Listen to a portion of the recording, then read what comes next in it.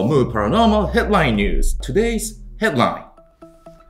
This Brazilian psychic is being called a direct descendant of Nostradamus. このブラジル人霊能者はノストラダムスの直系の子孫だと言われている。はいどういうことでしょうか？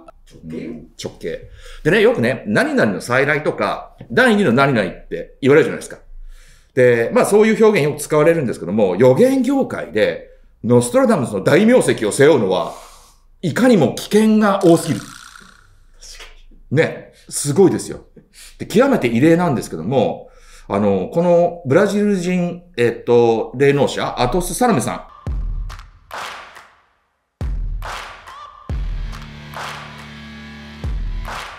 えー、ですね、この人なんですけども、謙遜はしてないのね。否定はしてない。ああ、呼ぶんなら呼べば、的なスタンス。え、血筋なの？血筋ではない。ない血筋ではないけど、だって、もうだって直系の血筋なんて証明のしようがないもん。確かに。作れば作れるし。で、さらにはね、ブルガリアの預言者いますね、バババンガ。バババンガ、96年に亡くなったのかな？この方と並べられることも、あんまりね、こう、あ、もうそれはそれでやぶさかではないですよ。的な。割と静かな口調でやるらしいよ。強メンタルです。うん。メンタルは強い。すごく。すごく強い。で、ブラジルでは知らない人はいないほどの知,、えーと知名度、有名人だってことは、まあこれは複数の、えーサイトで当たるとそういうような情報が出てまいります。ただね、ノストラダムスがどれほどすごかったかといえばですよ。ね。まあ、ノストラダムス研究家ってすっごいいっぱいいるじゃないですか。で、まあ、疑念を呈する人がいないでもないし、ひょっとすると過半数超えちゃってるっていうこともありますよね。解釈難しい、解釈が難しい4行詞。あの4行詞の解釈が難しいってことなんだけども、まあ、こういうふうに言いましょう。確かに100発100中っていうわけではないです。予言の精度としては。で、一番有名な例のアングルマーの大王の予言も結局は当たらないでいたわけですよね。まあ、その大王が具体的に何か、何かっていうことの解釈の話になるわけだから、その4行詞。そう。で、ちょっと、後藤弁さんだっけ？晩年になると、割とこう、予言の年度をこう、ね、ずらしたり、そういうの結構スケールこういうふうに動かしちゃうような解釈もあったりなんかしたのも事実でありました。ただし、バババンガの予言は、この複数の資料によれば、70%から85%の的中率と言われている。言われている。当たってんな当たってるでしょ？だってこれ、野球の選手にしたらすごいぜ。8割5分。すごいよ。すごいよ。で、まあ、具体的なものを挙げるならば、第二次世界大戦の勃発であるとか、チェルノブイリ原発事故、ソ連の崩壊、ダイアナ妃の事故死、そしてアメリカ同時多発テロなども、えー予言していたっていうような、実際その予言の文書もあるんだよね。ブルガリアがこれは、えー、ここに起こしたやつかね。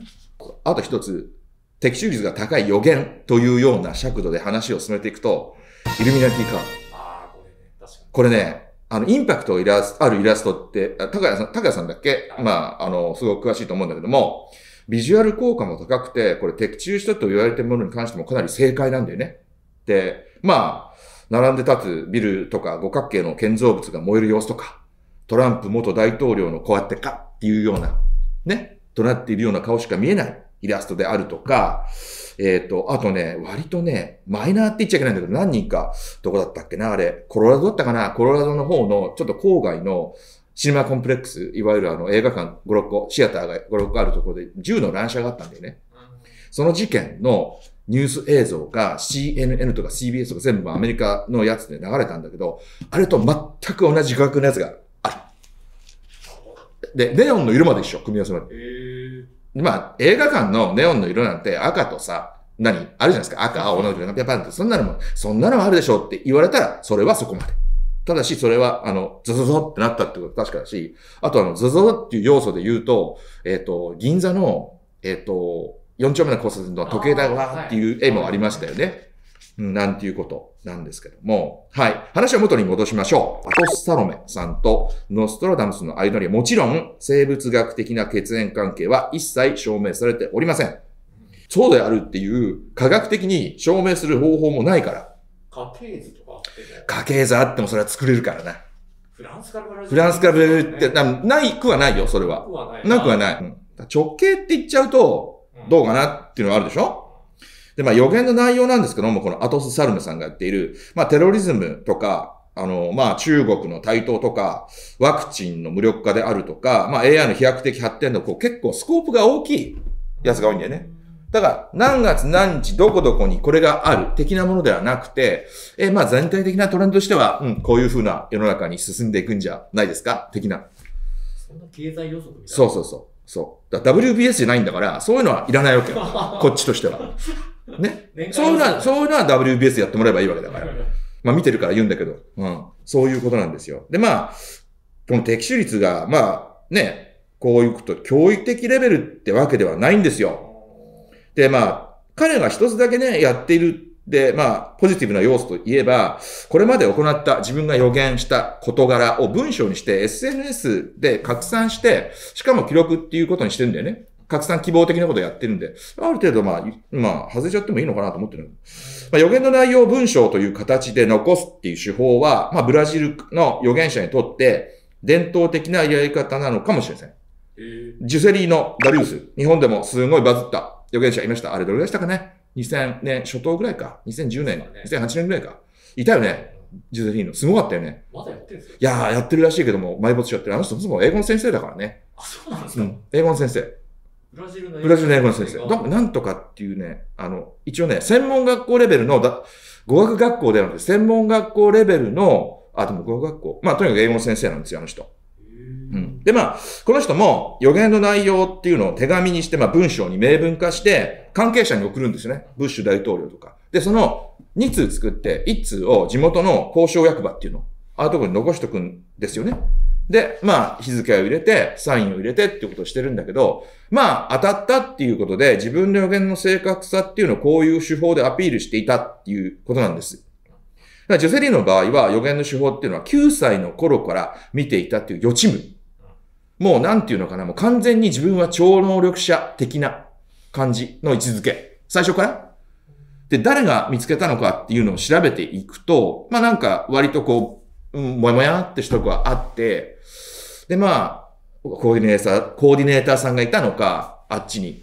あるいはこっちで、その、まあそうだな、大学レベルでこういう PSI とか超能力研究をしていた人がそっちの方の学術的な質で行ったのかはちょっと不明ではあるんですけども、まあ、あここに書いてあるな、姿を見なくなったのはやっぱ2008年ぐらいだって。あ、でも黒板とか結構やってたからね。覚えてる。うん。ちょっと過去の人の感じはありますはい、もう、もうだいぶそういう集はしているね。あとなんかちょっと、その噂だっていっぱい送っといて当たったのだけアピールするみたいな。ああ、当然してるでしょうね、それも。あのね、それを、そそういう、あの、なんだっけ、あの、ディバンキングみたいな感じの、そういうサイトも結構あって、あねあの、そういうような手法をだってか、そんなことしたら当たっちゃうじゃん、全部。っていうことも言っている。だドラスティックなやつをどんどんどんどん連発して、連投して、取っといて、で、はい、当たりましたっていうの、出してくるのはさ、外れたのを出すわけじゃないんだから、とりあえず残しとけばがちでしょ。確かに。うん、ということもあると思うんです。はい。で、ジュリア・ブラウンっていうアメリカの女性サイキックがパンデミックに関する文章を2008年に書いた本に、これ、あ End of Days っていう本だと思います、確か。に残して、確かにね、そういう文章を僕読みました。それから、これが、むしろこっちだよな、90年に出た翻訳本が出てるディーン・クーンズ。ありましたね。これやめやめ。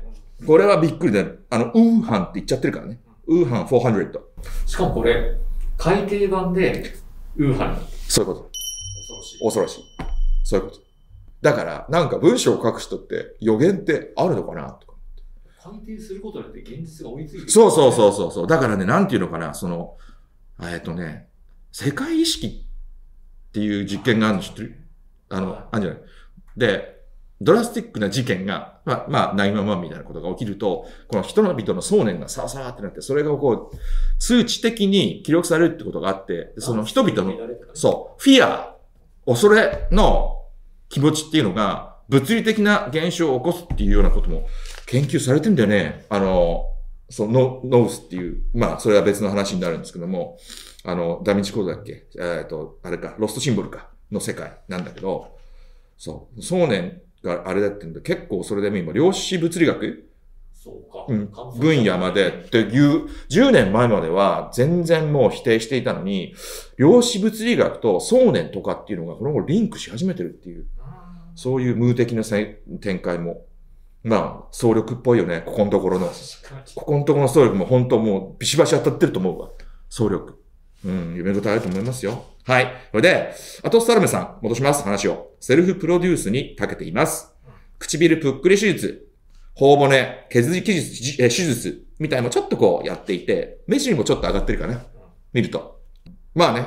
まあ、サロメさんも新しいルックスになって、そういうような、あ、ちょっと直しましたよ。的な告知もしていたり、美意識の高い預言者でございます。全部オープンなんですね。そうそうそう。予言もそうそれがまたあの何、予言じゃなくてさ、何？あの、え整形しましたっていうのが地元紙の話題になっちゃったりする。どんだけ飢えてんだよ。うん新しい話に。まあね、預言者にも何らかの付加価値的な要素が必要な時代になっているのかもしれません。ということです。はい。それでは次回の Move Headline News on YouTube でお会いしましょう。See you next time on Move Paranormal Headline News on YouTube. Thanks for watching!